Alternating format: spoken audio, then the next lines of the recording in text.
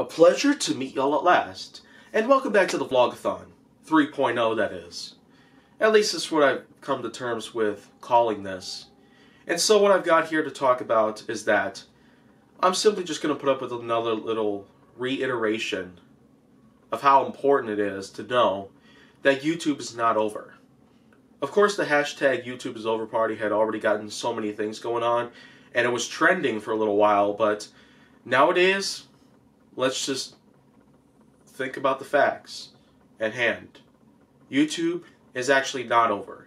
The platform itself has just been too successful and too popular that it will not be going downhill.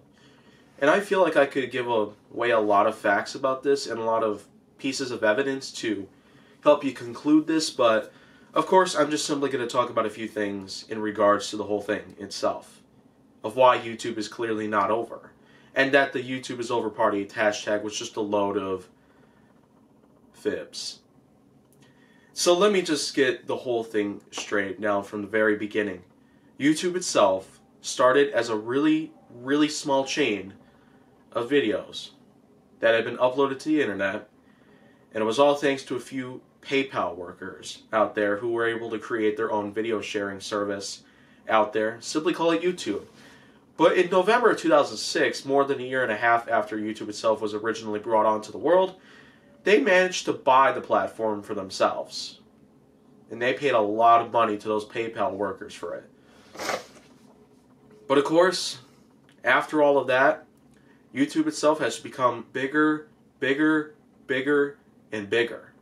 And bigger all over again.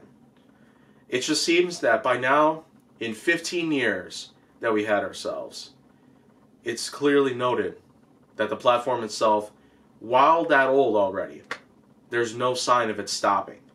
The platform itself is clearly not at all over.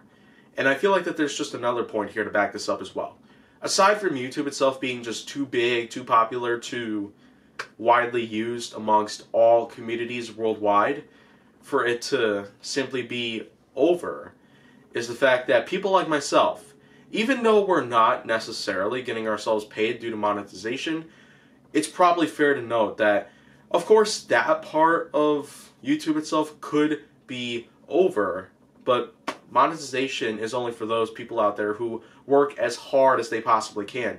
And the one thing that they do need, aside from subscriber count reaching a certain limit to where they all of a sudden now get paid through ad revenue, would be their viewership. That's the fuel to it all. And if people are not going to view anyone's videos out there because they all of a sudden have this psychological need to believe everything that they see on the internet, then well, know this. I have no psychological need to simply trust anything and everything that I find on the internet. There's always going to be something out there that's not reliable enough for me to simply think that it could be worth something to me. Information out there is always key. Evidence, links, and conclusions.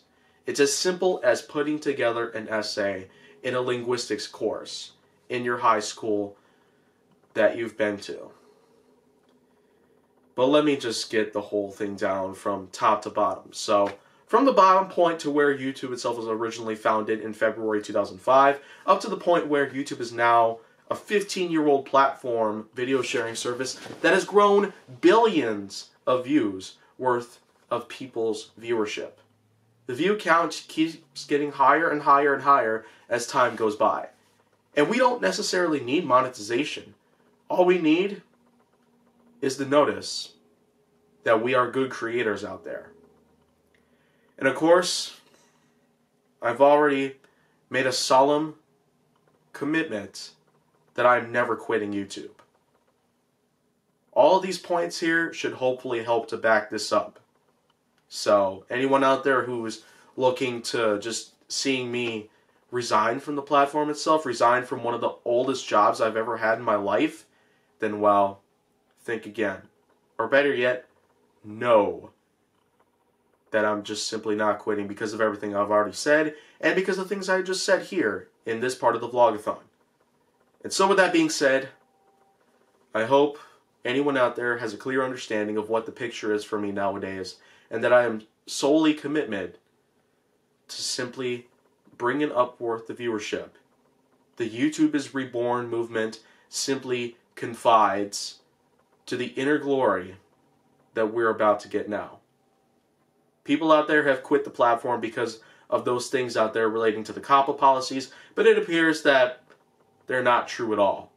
The FTC is only having YouTube simply look through every single channel out there to ensure that they can get the right advertising that they need. For personalized ads out there, for people that don't have their channel as set to not made for kids, then well, of course you can expect personalized ads to pretty much be gone. Your ad revenue could be killed off if you make content that is clearly made for people who are under the age of six or something like that. And so, that's pretty much just it. And if you want to see more, go down to my channel. Make sure that you like, subscribe, comment, follow me on social media, and stay on the Hollywood side.